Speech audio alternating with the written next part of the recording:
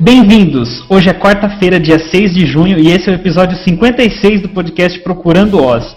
Hoje a gente choca a sociedade, fala de videogames, de pornografia e de como essas duas coisas horrendas destroem a sociedade. E o cabelo do Bruno tá mais bonito essa semana. Tudo isso e muito mais no episódio de hoje do podcast Procurando Oz.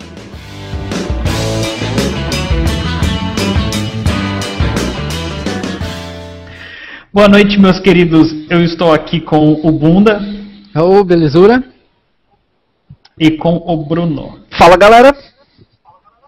Bruno, é, hoje é quarta-feira, dia 6 de junho aqui. Amanhã é feriado aí ou nem? Não, não é feriado. Então... Brasil mamando a teta do El ou El do feriado. Não, não, não, não, não. É que aqui nós somos pessoas de fé, cara. Eu vou parar pra. e vou ficar pensando no, é feriado o quê? no significado da data. Mano, é Corpus Christi, cara. Como é você, como um verdadeiro católico, Lorde, não sabe? É o corpo do Lorde. Seja lá o que isso queira dizer, né? Tipo, vamos comemorar o corpo do cara. Só. Você tá questionando? Véi, tá pra questionando? mim tá bom. Você tá perguntando? Você tá questionando? pra mim é um motivo bom. Sabe o que eu vou fazer amanhã? Amanhã eu vou jogar videogame. E o assunto de hoje tem a ver com videogame. Tem, oh. tem a ver com videogame, Bruno? Tem a ver com videogame e pornografia. Ah é lá! pode parar também amanhã. Que é o que, que eu também verei. Amanhã eu terei duas telas ligadas. Eu terei pornografia numa tela, videogame na outra tela. É isso que eu farei Olha, amanhã. Será? É... Resumo do o meu tema dia. de hoje foi uma sugestão no nosso, na nossa página no Facebook. Porn uma, game. Uma matéria sobre o efeito maléfico de videogames e pornografia na geração de garotos. E a, o argumento, e é, é, um, é um livro e também pesquisas de um cara da psicologia. Tantas imagens. Que, que, que argumenta que a, a garotada tá ficando menos social e tá ficando mais. tá ficando menos capaz de interagir com garotas, tá ficando menos capaz de fazer o. Nunca, nunca senti isso na comunidade gamer. Eu nunca percebi a galera que gosta de videogame eu, ou que joga. Ou eu acho que são outros motivos, cara. Mulheres. É, é dificuldades é sociais mesmo, não tem nada a ver eu com Eu acho que é genético isso aí, cara. Por quê? Eu acho que a culpa é das meninas porque elas jogam menos videogame que a gente, né? Elas deviam jogar isso, mais. E aí todo mundo. Ia ter o que falar, mano. O negócio é o pá, velho. É, ó, que dá menos trabalho, a gente sabe que dá menos trabalho, né? Não vou entrar em detalhes, não. Vamos, vamos, vamos seguir. Não, vocês tocaram em pontos bons já. Uma das coisas é a parte da, de serem jogos diferentes, serem hobbies diferentes, que isso pode ser uma das dos fatores que explica e não algo intrínseco em si do videogame ou intrínseco do, da pornografia que faz a gente ficar menos capaz sexualmente e romanticamente. E para começar, eu, eu, dei uma pesquisada sobre isso. O, o cara do livro e da pesquisa, ele é, é mega famoso na psico. Ele, o Zimbardo, ele fez de Stanford, Universidade de Stanford. Ele é bem famoso por, pelo, por um outro experimento, não por isso, agora essa é uma área nova que ele começou, de videogame e tal. Mas ele fez o experimento em 70 e tralalá, sobre o efeito de papéis que você está fazendo no seu comportamento. E foi assim, eles na nos, num dos andares lá de Stanford, do departamento, eles fecharam e pegaram pessoas e um grupo de pessoas se vestiu e tinha que fazer o papel de guardas e o outro grupo de pessoas se vestia e tinha que fazer o papel de prisioneiros. E eles ficaram assim por dias.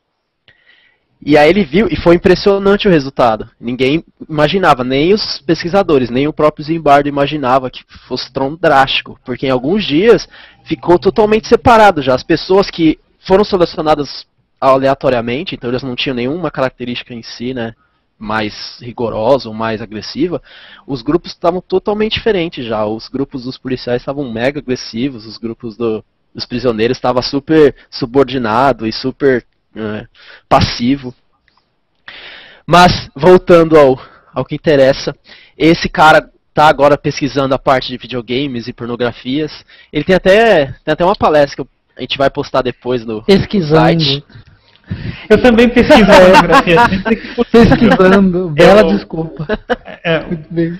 claro, para efeitos de pesquisa e de É, conhecimento. então, exatamente. Antropologia, né? Estudo antropológico aí. E da- o que, ele, o que na verdade ele deveria fazer mais, porque pelo que, eu- pelo que eu percebi da, da pesquisa e da palestra que eu estava assistindo dele, ele não tá entendendo muito o que, que é videogame hoje em dia. Pra ele, eu acho que ele tá pensando que videogame é mais aquela parte de Atari, aquela coisa Não, é individual o que eu ia, que o cara é que eu joga. ia- é o que eu ia comentar. A gente tem tanta pessoa capaz de, de ser pós-doutor no assunto games e pornografia. Um- Tanta molecada de 16 anos. Aqui, né? Ó. Ah, eu acho que, eu acho que esse, esse é efeito. É efeito de. aquele efeito de pesadores mega famosos que acabam também indo pra várias coisas diferentes, porque agora eles, se- eles se acham bom em tudo, né? E acabam indo pras coisas que às vezes eles É nem- modinha, é muito- modinha. Putz, que agora eu preciso falar de videogame, né? Esse negócio aí, desses negócios é, elétricos. é o aí. efeito. É o efeito Nobel. Né? Pesquisadores ganhadores de Nobel. Eles. O que acontece bastante com pesquisadores ganhadores de Nobel é que eles vão e acabam se metendo em outras coisas, né? Que nem aquela história do Watson falando sobre negros e inteligência. Acabam viajando na maionese e falando de coisas que eles nem têm, a, têm área, nem são Tudo da área. burro. Isso! Isso. Pela terceira vez seguida a gente passa aqui, tangencia o racismo. Muito bem. Rumo a, rumo a ser banidos da internet. Não, tô falando burros Nobels, não os negão. Isso. Eu Foi o que eu piro nos negão. É nóis. Eu, tô, eu piro muito. Mas voltando ao assunto aí, independente da qualificação do cara ou não, Uhum.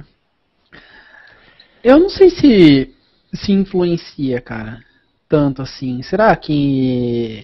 que eu, Então, eu do que eu li, não, cara. Não, não influencia. Então, eu acho que não influencia, não. Bem- Eu acho que ia acontecer de qualquer jeito, né? Eu acho que a, a- se, se a galera tá, tá, sei lá, tá com problemas, isso não é o- culpa isolada, né? É, eu acho que são- esse é um medo de é um medo que a, a sociedade cria de qualquer mídia nova, né? É um medo que a gente tem. Eu tava até lendo desde a desde a antiguidade, quando Roma criou, quando a Grécia começou a ter aquelas o, o teatro, né, e fazer teatros públicos e ter investir mais em teatro. Platão mesmo, ele começou a questionar se o teatro não era uma coisa ruim para as crianças e estava modificando as crianças, estava deixando elas mais violentas e menos capazes de brincar entre elas e né, vem do mundo adulto muito cedo. E depois poesia também foi a mesma coisa e também vários filósofos, era o- vários Platão, pensadores sim, acharam Platão o ruim, né? Porque nossa, poesia, né, vai ser uma coisa ruim para as crianças, vai ser uma coisa ruim para eles. Né, os jovens, os garotos vão ficar só na poesia e vão esquecer de fazer a relação romântica com mulheres reais, né? Foi assim, foi assim com um monte de coisa, foi assim com o cinema, foi assim com a TV, foi assim com com, Comigo. com a imprensa, né, com a, com a mídia, com, com livros, com livros, tem, teve vários caras na época da, da imprensa, né, Velho, a primeira. Você tem noção ia, que a, a gente ia ficar corrompido por causa do- dos livros. As primeiras gerações de gamers, cara, já são pais há algum tempo, velho. Tipo, Uhum. acho que fala por si só, né?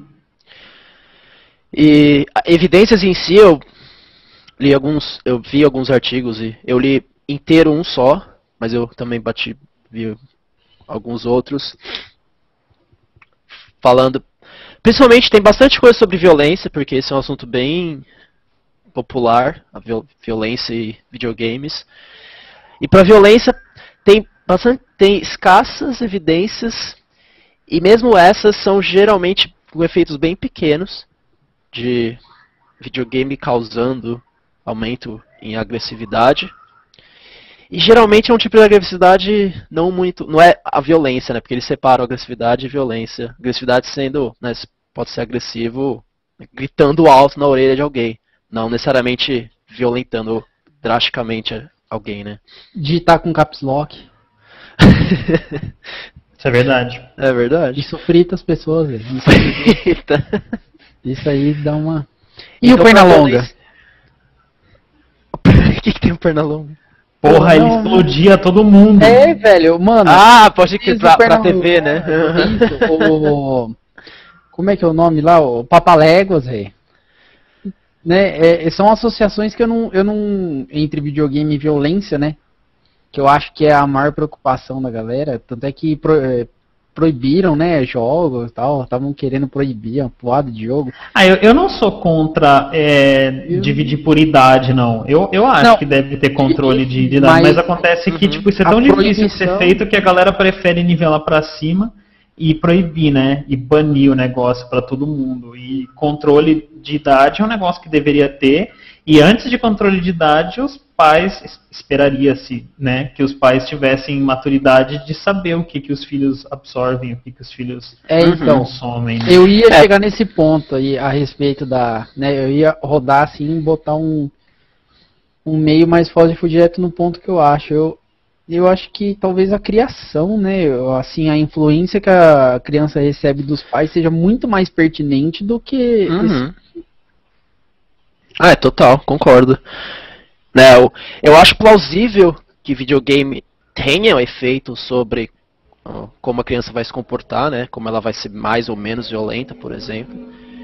Como, mas também outras coisas, todas as outras coisas vão ter influência, né? Algumas muito mais, outras muito menos. Eu nem acho que videogame vai ter uma influência muito grande. E essa que as evidências por enquanto apontam, que videogame não tem uma influência muito grande na violência de alguém. Mas é plausível que tenha, porque né, as, as crianças estão vendo ali, estão vendo, então é plausível que tenha algum efeito. Mas, meu, se comparar, né, TV, o quanto uma criança vai ficar vendo TV, o quanto a criança vai ter, vai ver coisas na rua, vai ouvir os pais conversando, vai ver amigos na rua, Vai ouvir os pais escola. brigando, cara. É, vai os pais lógico, se xingando, vai ver. Bem lembrado, sim. E também pro, pra galera que fica apavorada com violência e com crianças, né? Ai meu Deus, mas crianças, as crianças dessa geração estão muito violentas. É bom lembrar que a gente nunca teve crianças e gerações tão pacíficas, né? Todas as outras gerações da história da humanidade foram criaram as crianças com muito mais violência. Né? Desde as gerações passadas com as grandes guerras, até indo bem pior, né, pra Idade Média, com, em que era divertido ver crianças, as crianças brincavam matando o gato, queimando o gato na rua e vendo ele sendo car- carbonizado. Era comum isso, né? Uma coisa que hoje em dia deixaria as pessoas, meu Deus, que, que Velho, absurdo é crianças esse? Era, espartanas a brincadeira eram- deles normal. Crianças espartanas eram soltas nas Ou, cidades. é, na, na Idade em Antiga, volta pra- execuções, é, execuções em praça pública, né, de pessoas, crianças viam normalmente isso, né, pessoas sendo mutinadas, pessoas sendo enforcadas. Bons tempos, né, bunda? Bons Olha tempos. que. É porque eu tinha cabelo. Isso era bom demais. Agora, sobre a parte social, o que, o que eu li é, na verdade, o oposto. Videogame dá, aumenta a capacidade social nossa. O que faz mais sentido, né, pra nós gamers, quem sabe como o videogame é, diferente da, do Zimbar, do pesquisador, que ele é velhaco já e eu acho que tá pensando em Atari, os jogos de hoje são muito sociais, né, eles têm comunidades enormes. Então, comparado com as crianças, os garotos que de- com outras mídias, livros, por exemplo, ficaria isolado, ou TV ficaria isolado, com o videogame eles estão toda hora, eles criam comunidades, eles fazem coisas pra caramba, né? É, é a parte mais social que o nerd, mesmo o cara mais nerd, pode ter. Se não tivesse videogame, o cara não ia ter social nenhum. Ai, velho. Claro que é. E aí, e tem, e, e tem evidência mostrando que geral, realmente eles ficam mais, bem mais sociáveis, né, as, as crianças com videogame. É, e tem os jogos hoje, né, que estão começando a, a bombar, que são jogos sociais, né, velho? Jogos em Facebook e tal, que você depende da galera pra fazer coisas e tal. E vamos falar também da parte boa aí, pô. Da pornografia? Porn.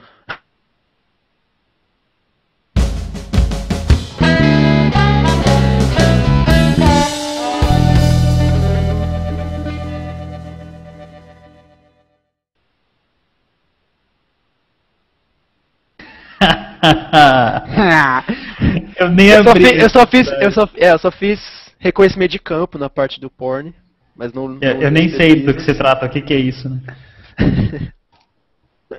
Ai, velho, porn. é Vocês acham plausível que porn deixa as- as- os garotos menos românticos pra vida real? Então, eu acho que isso depende de como é que como é que pornografia foi tratada ao longo da história para poder comparar se hoje tem alguma diferença ou não, né? Se você pegar, sei lá, é que assim, acesso deve ser obviamente bem mais fácil hoje, mas literatura sempre teve, né? Arte com relação a isso sempre teve, então Uhum. eu não sei quanto que Ó, A minha opinião é a seguinte, cara.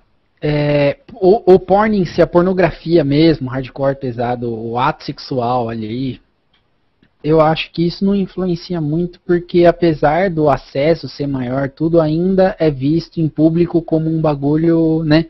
Um tabu, assim, o sexo tal. No dia de hoje. Então, ah, né, o moleque falar bobagem, assim, se ele não tiver no grupinho dele ou com pessoas que ele conhece, com meninas que ele conhece, as meninas, né, se ele chegar falando um monte de besteira, então a menina, né, vai ter aquela coisa que dá um, um bloqueio, assim. Eu acho que o, o que influencia mais no comportamento é a a exposição de coisas sensuais, não, não exatamente pornográfica, né? Tipo, a galera, as dançarinas na televisão, a- as coreografias das músicas, sempre com conotação sexual, vestimenta. Isso que é bombardeado todo dia, porque o porn em si não é bombardeado pra gente. O cara vai atrás, a gente não tem. Né? Mas, mas, depende mas da definição, né? mas ainda que deixaria. Não, eu, mas eu, é, ele definiu né, o porn como sendo aquela. Naqueles sites que o cara, vai e fica vê, o ato sexual. Mas Uhum. por que que a. Por que, que a banalização da, de sensualidade deixaria as pessoas menos aptas? Não, deixaria menos rápido. Eu acho que eu falei que influencia mais no comportamento. Agora, se deixa mais é. Menos aptas a interagir umas com as outras, aí eu já não sei. Mas eu acho que rola, sabe, uma uma diferença assim, né? De isso eu tomo com base é, eu assim, a gente. Eu Uhum. acho que Ah, é, não, a gente pode que especular aqui, porque é, então, eu também não a li exposição- os a artigos de exposição que a gente assim. sofreu com essas coisas, eu acho que foi menor do que uma molecada de hoje. Eu né? acho assim, quanto, quanto mais quanto mais repressora com relação a isso for o grupo onde essa pessoa vive, maior vai ter, maior influência de mudança de comportamento um negócio desse vai ter. Porque, tipo, vai, vai rolar uma exposição pra uma coisa que vai ficar aquela confusão na cabeça dele, assim, se isso é certo, se isso é errado, saca? E eu acho que quanto mais, quanto mais já for comum esse tipo de assunto no grupo onde o cara vive, menos isso vai influenciar o comportamento dele. Então, sei lá, eu imagino assim, uma galera que vive numa comunidade extremamente conservadora vai sair escondido para ir ver um negócio desse, vai vai mentir para ver, né? Vai, vai mentir para consumir, vai vai inventar coisas para poder ir, ir ver. Está mudando o comportamento do cara, né? Agora, se isso aí for um negócio comum, o cara liga na TV e tá vendo as meninas dançando lá, big deal. Uhum. Eu acho. Ah, mas aí de puro achismo da minha parte. Uhum. Então, Aí, agora- claro, a gente tá assumindo aqui no cenário bonito como se fosse igual pros dois sexos, né? A gente tá falando de exposição de mulheres para homens, né? Porque o contrário ainda, né? Estamos longe. Isso é fato. Uhum. E em relação ao comportamento mesmo de, né, do, do assunto de deixar as pessoas menos sociáveis, eu não, não vejo como como isso deixaria, né? Porque É, eu vejo nos extremos, né? Mas aí é pra tudo, né? Qualquer Aí tipo é- de hobby sim. vai ser. Isso. Putz, cara que é gosta que de jogar quando- golfe todo dia, toda hora, também vai ser menos social. Quando eu li o título da notícia que o, o Bruno mostrou, puta, eu não consigo não ver alguém extremamente conservador ou preconceituoso escrevendo assim, sabe? Tipo, ah, isso aqui está violando os- as morais e os bons costumes. É, eu precisei me segurar muito pra co- continuar lendo as coisas, porque eu li também coisas a favor, né? Vendo qual que eram os. E, velho, era, era sempre aquele papinho começando, né? Ah, cara. Mesmo artigo, mesmo artigo, né? O comecinho, assim, o pedaço do resumo, o começo da introdução era essa moralidade, bons costumes. Certo, defendo. Muito bom. Senhor, senhor Fábio, o que, que, que, que o senhor traz de sugestão bacana? Pornografia? Algum site bacana? É, então, Olha, cuidado com a sua resposta. Cuidado com a sua resposta. Tem um site aqui é, do Party Hard. Não, mentira. Minha sugestão é um livro do austríaco. Zangiefnu.xxx. X. Zangief XX. É de um austríaco. Aí. Não, também não é. Também não é do. Não quero ser preso. É um livro do inglês, cara. Na verdade, não é o. Então, eu, o cara, eu não sei se ele é inglês ou se ele é italiano que mo morou na Inglaterra. Ele é filho de italiano, como é inglesa. O nome do cara é Rafael Sabatini, né, nome bem italiano. É um livro de 1922 que tem uma versão pro, é, o, o, tem um filme baseado nesse livro de 1935 com Errol Flynn que é muito muito da hora. O livro chama-se Captain Blood. Hum, Não conheço. Captain eu também não Blood conheço. é uma é de uma história que se passa no século 17, no 1600, final do século 17 a 1680 e tanto. Conta a história de um do médico chamado Peter Blood, que é um médico irlandês que está na, na Inglaterra trabalhando e tem uma ele tá num momento histórico meio ruim para ele assim, porque ele é, ele é pego de surpresa que está tendo uma uma rebelião, né, a batalha de Sedgemoor, e ele como médico foi ajudar um cara. A tropa do rei chegou, pegou e falou, ó, esse cara é um traidor, você é um cúmplice dele, está tratando do cara, mesmo ele não querendo fazer parte, você vai ser condenado à traição. O rei na época foi é, condená-lo à morte, só que aí de última hora ele mudou a a, a sentença porque ele estava precisando de mão de obra na, no Caribe, né, lá nas colônias. Ele é mandado para lá para ser vendido como escravo. Os espanhóis chegam para tentar arrebentar a cidade, ele se liberta e vira um pirata e volta a atacar a Inglaterra como um pirata. É Olha muito, mu- ele rouba um navio espanhol e fica e vira um pirata meio pirata Robin Hood, um negócio assim. É muito, muito legal, cara. Captain Blood. Que legal, vou dar uma olhada, E assim. 22. Já foi na fila aí, Bruno. É. Foi na fila aí. Essa. Tô no meio do Solaris já. Olha, o negócio é muito style, né, gente? Cala a boca, porque eu não sei, eu não eu nunca li, eu não quero spoilers. Nossa, você já tá naquela parte em que acontece outra coisa. Você já tá naquela Nossa, parte o cara já fez isso aqui, isso ali. tudo, velho. Já fiz tudo. Essa é a minha Odeio. sugestão, velho. Captain Blood. Vou até bo- botar um, um linkzinho aqui no, no Shaft. Muito bom, senhor. Bunda sugerindo bons livros aí. É muito, Ah. muito legal, cara. A minha citação é do que eu sugeri na semana passada. É do livro que eu sugeri, sugeri na semana passada, do Neil Gaiman. Ela diz o seguinte: é, foi difícil.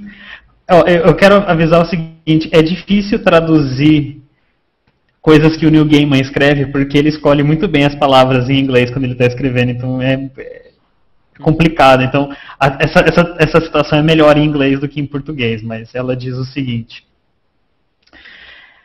A liberdade é uma puta que merece ser deitada num colchão de corpos.